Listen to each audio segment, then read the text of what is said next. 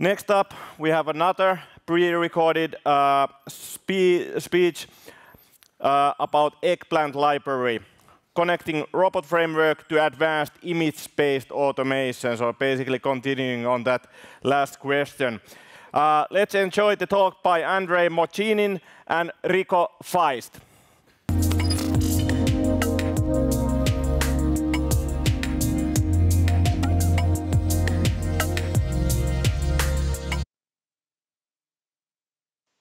Hello, everybody. I'm happy to be part of Robocon this year. My name is Andrei Mochinin. I'm working for a company called Imbus, software test experts in Germany. My co-speaker is Rico Feist from DB Netz, German Railways. And today, we would like to introduce you the robot framework Eggplant Library. What is actually eggplant, you could ask? Well, from the botanical point of view, it's a berry. From the kitchen point of view, it's a vegetable. From the test automation point of view, it's a test automation tool based on image recognition. An important note is it's a proprietary, non-free product. And a disclaimer, we are not working for Eggplant, we are not paid for this presentation anyhow, and it's not our goal to advertise Eggplant itself. But we would like to show you how to connect it to Robot Framework using the library that we have developed. The library itself is fully open source, it's completely free, you can find it on GitHub, and everybody is welcome to use it and to improve it. So why we needed actually Eggplant? In the project, we decided to use it because the project had some quite specific test automation challenges. The project itself is developing a new train control system for German railways. To tell you more about the project and about the challenges, I would like to pass the word to Rico. I would like to give a short overview on the project and the DB Netz AG. The DB Netz AG is the railway infrastructure manager of the Deutsche Bahn, the German state railway. About 44,500 employees are responsible for maintaining and controlling a network of about 33,300 kilometers of track. Every day, there are about 23,500 trains controlled on the network. This train traffic is controlled by eight rail operating centers called Betriebszentrale. They are located in major cities in Germany. In these pictures, you can see three out of the 600 workstations for dispatching and traffic control. These workstations are equipped with multiple displays because there is a lot of traffic to manage. All in all, there are 2.7 millions of train path kilometers per day, and the network is used by 440 different railway companies. This creates some challenges for testing. The first challenge stems from the way these workstations are set up.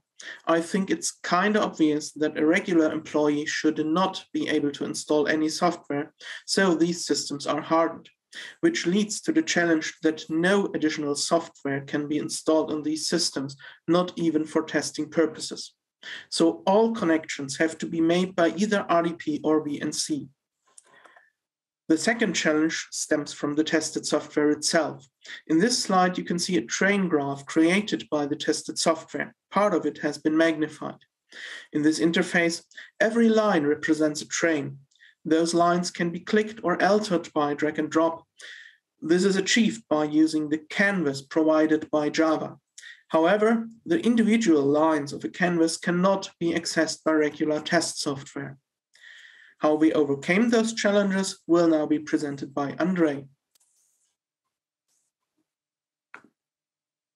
Thank you, Rico. So the project has some challenges. We have a restricted access to systems under test, which means we can install no classical test automation tool on the same machine where we have the test application. And we have quite a specific image-based user interface, which blocks us from using a normal test automation tool, which is able to access the graphical user interface controls like buttons and text fields and so on. That's why we decided to use Eggplant. But why actually connecting Eggplant to Robot Framework? Well, Robot Framework has some significant advantages comparing to Eggplant. When I'm saying Eggplant, I mean Eggplant Functional. There's actually a set of products called Eggplant. We are working with Eggplant Functional only. So Robot Framework has better reporting, better structuring of test cases and keywords, and the open architecture and so on. Actually, you know all these advantages. So we wanted to use it, and we wanted Eggplant to be integrated in the entire test automation architecture which contains the layer above, which is keywords and test cases in Robot Framework. In the architecture, we have quite a lot of different systems under test. We have web applications, we have Windows desktop applications based on Java, based on different frameworks and languages. We have API tests, we have XML files and databases we would like to address. We check and test all these systems under test using different libraries, which are connected to Robot Framework. It is also connected to the continuous integration system. It is GitLab CI for triggering tests and for reporting. And we wanted Eggplant to be integrated in this architecture. That's why we started developing the Eggplant library. But what is actually the difference of the eggplant and the eggplant library comparing to other image recognition libraries like Sikuli, Horizon, and other libraries? Well, the eggplant itself has some similarities and differences. It's also an image-based test automation, which means images are compared pixel by pixel. It also uses OpenCV, at least partly. The OCR engine is third-party from ABBYY, the interesting thing about Eggplant is the architecture. It's a so-called non-invasive architecture using the RDP or VNC connection, which means Eggplant is itself Eggplant itself is installed on one machine and system under test is another machine where is nothing installed. So the only thing you need is a connection via remote desktop or VNC. Eggplant also has its own language, which is called SenseTalk. It's quite special language. It has its own, its own integrated development environment. It is all in one, including tuning of images, OCR, image update, adjustment, setting different parameters of all this image recognition, tweaking them. It also has a connection manager to different systems under test. It is actually all quite useful when it's all combined in one development environment, which allows you to maintain typical difficulties which you have using the image-based test automation, making your life easier. And now the Eggplant library for Robot Framework. It is also a little bit special because it is it is no wrapping eggplant functions in keywords, at least not all of them. It is not the goal of the library. Instead, it is giving access to the scripts which you still develop in eggplant. It calls them as keywords in Robot Framework which means you continue developing the scripts, the keywords, in Eggplant itself using the Eggplant development environment, which makes actually a lot of sense because it's quite handy using this development environment for image maintenance, uh, for replacing images and so on. To call these scripts, you need to start Eggplant in the so-called EggDrive mode. It includes the XML RPC server and the Eggplant library, which is written in Python, includes the XML RPC client.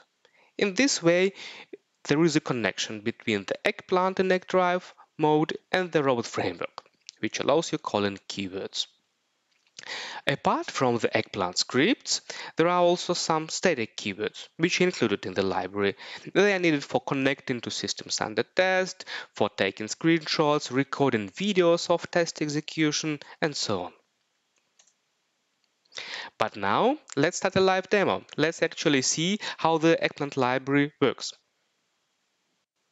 First, you need eggplant, because as mentioned before, using the eggplant library has no intention to replace writing scripts in the eggplant development environment. After you have started it, for which you need a license by the way, you see such kind of welcome window. And here you can create or open an existing eggplant suite file.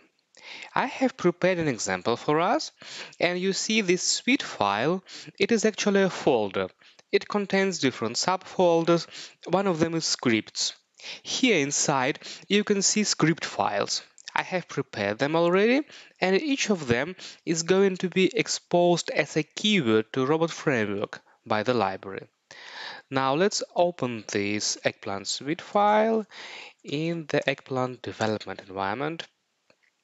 You see now it's open and on the left side you see the project explorer and here here are exactly the same scripts that you see on the right side in the Windows Explorer. These scripts, they are intended to automate a simple test case. I'm going to show this test case run manually first, but for this we need a system under test. Eggplant has a connection manager, and here you can manage different connections to different systems under test. I have already one here. If we go to properties, we see it's a VNC connection it could be also RDP. It has some connection data and the name, which we are going to use later to identify this connection. Good, let's open it. You see it's actually a Windows machine and like in a normal VNC viewer, I can control it. I can click buttons, I can open a start menu or a browser like this. Fine. That test case I'm going to automate. It includes launching a notepad first using the start menu, entering some text like open text, and then compare this text to the expected value. And in the end, I'm going to close the editor without saving anything. And for this test case, I have prepared four scripts. The first one is called Start Editor. You see now the special language that Eggplant uses. It's called SenseTalk. The first line clicks the Windows button, and this Windows button is an image. I have captured it before along with other images. The second step is entering the text, which is editor, then clicking the editor icon, it's also an image, and waiting in the end for the editor title to appear. The next step is inputting the editor text. It already has a parameter. This parameter has a default value hello world and this value is going to be used if we execute the script now. This script, it calculates the area where to enter the text. It is calculated based on the title location. And finally, the text from the parameter is entered. The next script is checking this value. It, has, it also has a parameter, the expected text, with the default value hello world. By the way, these parameters and their default values, they are exposed by the library to robot framework, along with the documentation of the keyword, which is captured from the mm, comment area above.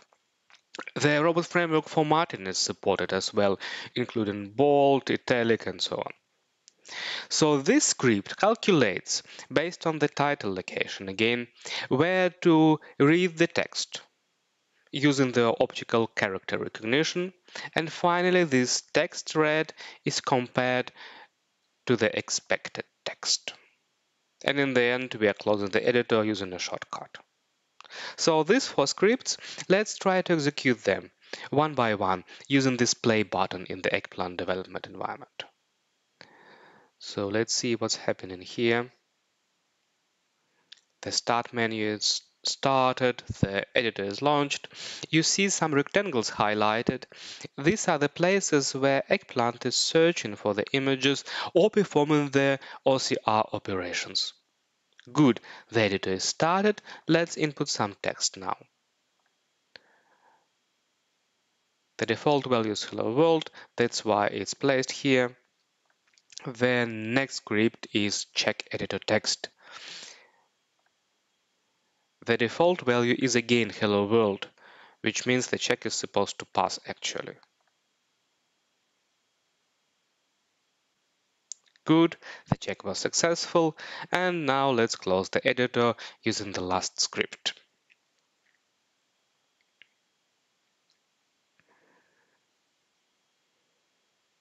Fine, the scripts work. Now let's use them as keywords in our robot framework test case. I'm opening this folder in the Visual Studio Code now. And I have prepared a template for us. First, you need for sure to install the library. How to do it, you find the information on the GitHub page of the library. It's actually quite easy. You are using the normal pip install command. When you are importing the library, you have to set a couple of parameters. One of them is mandatory, the path to the eggplant suite file, because the library needs to know where to look for all the script files. And there are a couple of keywords which are included in the library.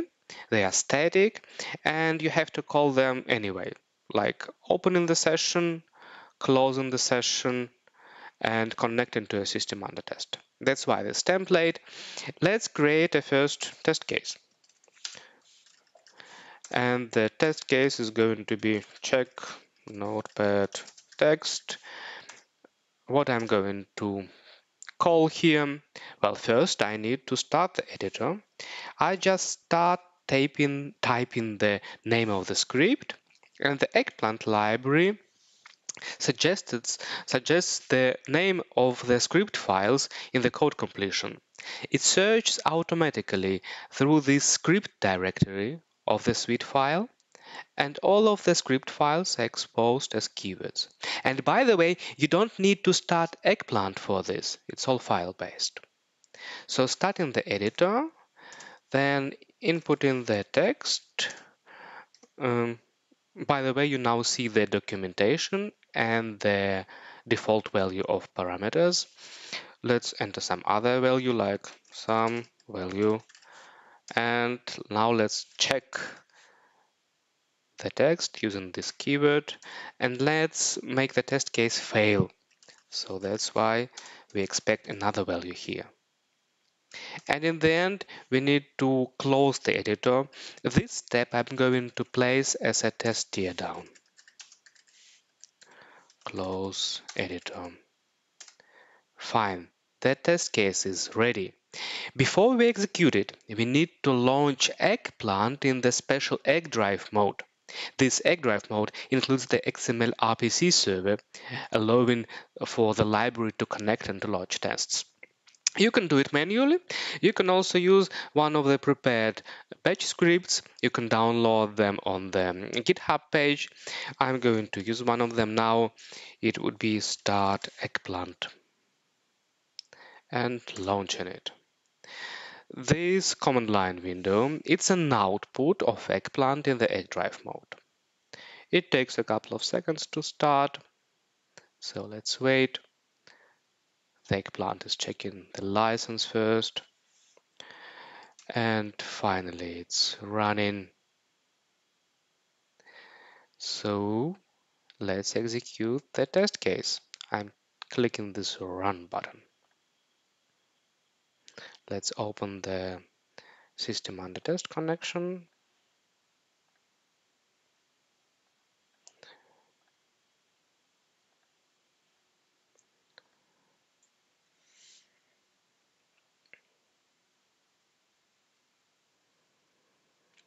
So the steps are executed, the notepad is launched, some value is entered.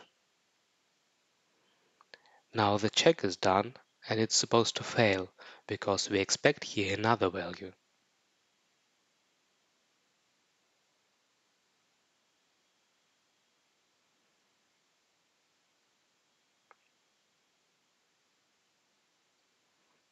Good, the check is failing apparently. And finally, the notepad is supposed to be closed. Don't save anything. Fine, the execution is finished. Let's open the log file. So this is the normal robot framework execution log. And you see here this keyword that failed, check editor text.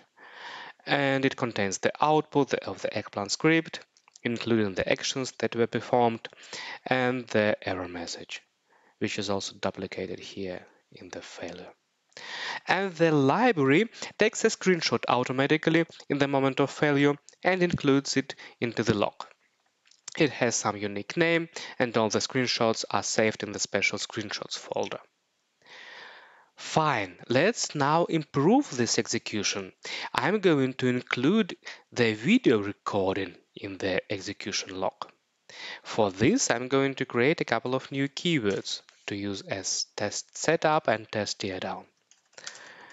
In these keywords would be start video and system under test. First, I would not I would like to connect to the system under test. It's actually the same that I have here. I'm just moving it inside. Then I'm going to start movie the start movie is a special keyword which is included in the library. It starts the video recording. It takes some parameters, but we can just use default values. And I'm also going to move starting the editor itself in this setup keyword as well. So the next keyword is stop video and system under test. And here I'm going uh, to close the editor and stop movie. Fine. Now I'm going to use these new keywords in the test setup and tear down. Start video and system under test. Stop video and system under test. Good. So the test suite is ready. Let's execute it.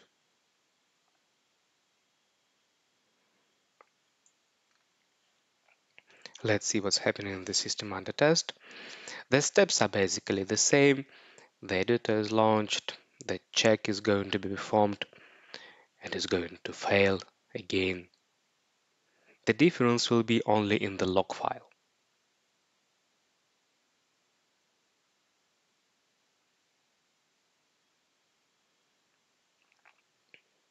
Mm -hmm. We see that the check failed. Good. Now the notepad is to be closed. Fine, the execution is finished. Now let's see the log file. So basically it's the same with the same output, but now we have not only the screenshot, I'm going to make it bigger. We also have the video recorded automatically and it's included in the log file. You can play it directly here. This thumbnail, the preview, is actually the screenshot itself. It's the moment of video where the error happened. But if we play the video here, it starts from the beginning. So the entire test case execution is here. I can zoom it in and it's actually the same test case with the rectangles highlighted and so on. I can move in the video and navigate for sure. And in the end, the check is done and the editor is closed. So this is how the video recording looks like. All the videos, uh, they are included in the, in the log and they are recorded in the special folder called movies. Fine. So this is the end of the demo presentation. Alright, let's summarize then. The Eggplant library for robot framework that we developed helped us to integrate Eggplant in the test automation architecture based on robot framework. It helped us to gain the advantages of robot framework and to overcome the disadvantages of Eggplant. And these are the features of the library. It allows you calling eggplant scripts as keywords in the robot framework. It is able to get all keyword information from eggplant scripts like arguments, including their default values. You can also use the name parameter syntax. It is able to get the documentation, the tags, the link to the source file, and is able to pass the return values. The different data types are supported. The subfolder structure is supported as well.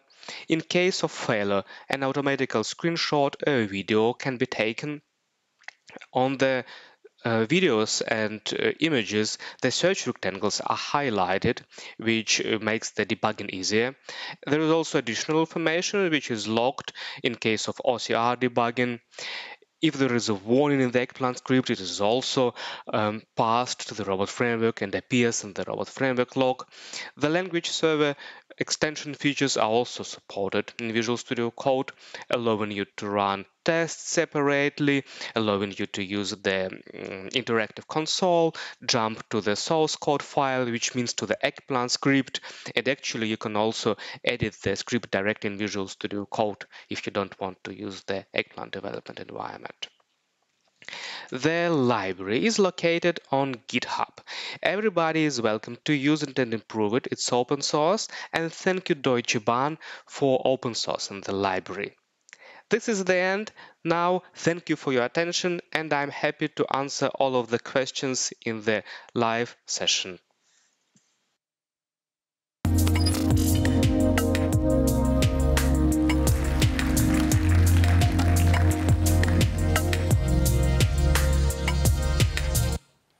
Hello, Rico and Andre.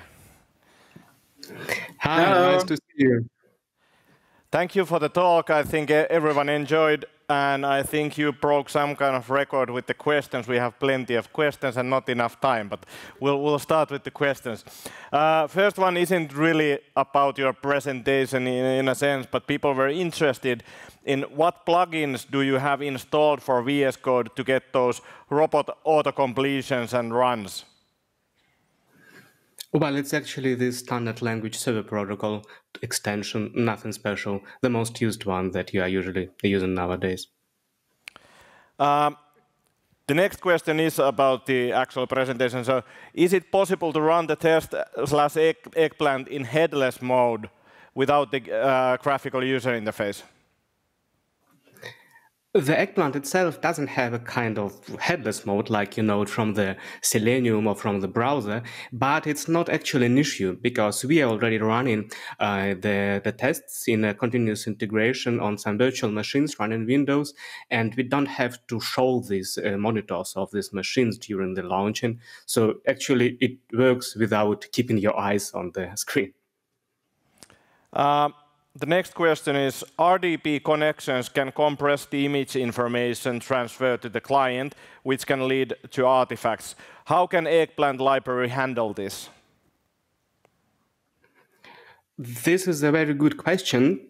The Eggplant library itself is in any case not going to handle it anyhow. This is the job of the Eggplant done. I know that actually it's supposed to work good but I know that might, might be some differences. Rico, please say if I'm wrong, but as far as I'm concerned, there might be some difference between using VNC and RDP. In our project, we are using mainly VNC. Um, I, I want to add that we have made sure that there is a good connection so that actually there is no need for compression or at least a compression with a level that creates artifacts. Good. Uh, what, are the main benefits when you compare this solution with other solutions, including Sikuli? So uh, um, yes. I want to. I'd like to answer that because I made the initial research regarding what uh, tools to use, and the main benefit of Eggplant over Sikuli is that Eggplant uh, has much more uh, um, possibilities regarding image recognition. So you can you have so many settings regarding uh, the threshold, for example. I read another question there.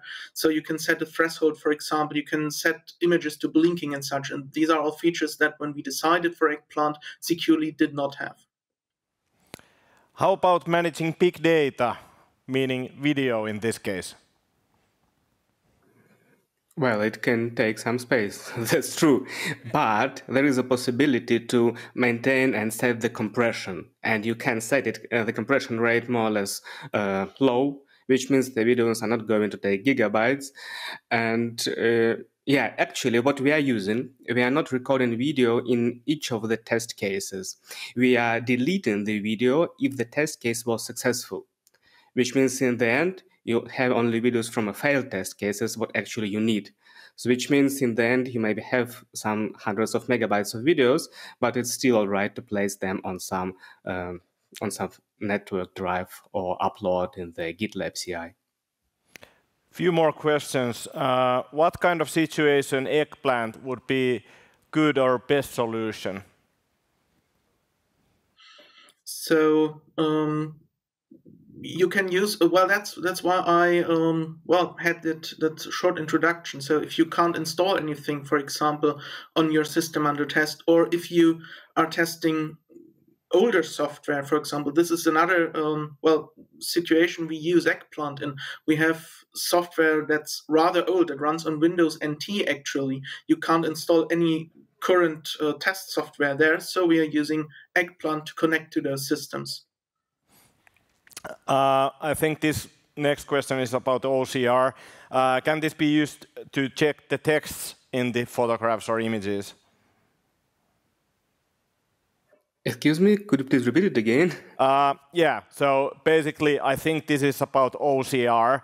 So can this tool be used to check the text visible in the images? So basically detecting that text. Yeah, yeah, exactly. And we are using it quite widely. It was also inside this example that was shown. Yes, extracting the text from the image and reading it and asserting it. It's one of the major functionalities of Eggplant, and we are using it quite widely. It also has a lot of tweaking possibilities like uh, text difference that can be considered when compa comparing. So it also has some advanced features. And last question, uh, how stable are your tests in CI? How, how often do you have these flaky tests? Often. I think there were yesterday three people in the audience that said that they never had flaky tests. They were lying. Yes.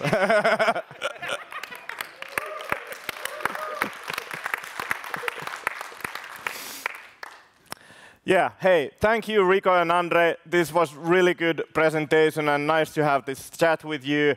You will probably be available on, on the chat on the online platform, so please ask more questions there. Next up for us, we have a break. We continue here 15.30, so half past three, and then we'll have two more sessions uh, after that. Thank you so much. Thank you. See you.